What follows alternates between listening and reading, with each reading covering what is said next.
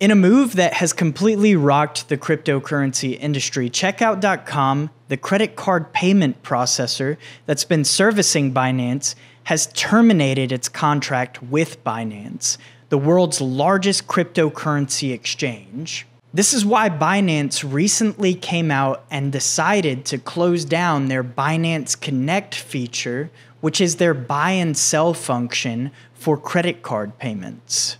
This decision comes amid a series of scandals and investigations into Binance's business practices. Checkout.com CEO Guillaume Pousaz sent a letter to Binance CEO Changpeng Zhao on August 9th, citing reports of regulators' actions and orders in relevant jurisdictions and inquiries from partners. The letter also expressed concerns about Binance's anti money laundering, sanctions, and compliance controls. In a second letter sent on August 11th, Pousaz said that Checkout.com was terminating its contract with Binance effective immediately. He also said that Checkout.com was sorry that we are unable to continue offering our services, but that the company wished Binance the best of luck with your business moving forward. Sorry we're actively destroying your business, but also best of luck.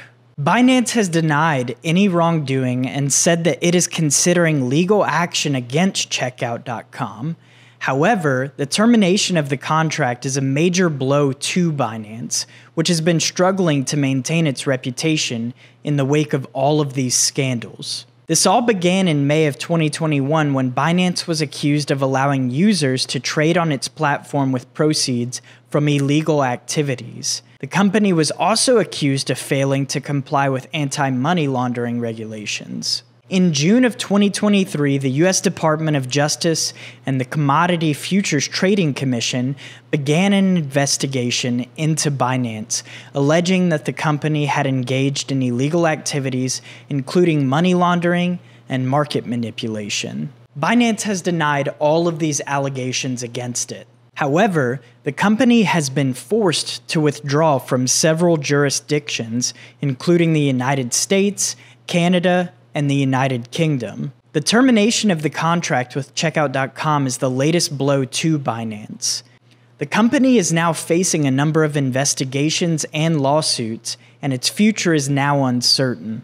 There have also been thousands of layoffs, and there are rumors that even affiliates have been losing their roles with the company. This scandal is a reminder that the cryptocurrency industry is still very much in its infancy. Investors out there should do their research before investing in companies and cryptocurrencies like BNB.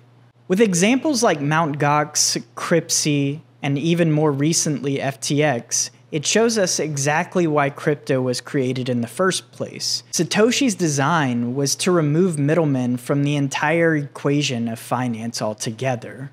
Now, I'm not trying to say that Binance is about to bail on everybody. That's not at all what I'm trying to say. But it's always a good idea to remove your liquidity from centralized exchanges immediately after placing your trades. It's just good housekeeping in crypto. I obviously don't wish for the downfall of Binance in any way, shape, or form. That would have drastic implications on the entire cryptocurrency market as a whole. But what I will say is that stay careful and stay safe out there. The best way to protect yourself is to always make sure that central authorities don't have access to your funds.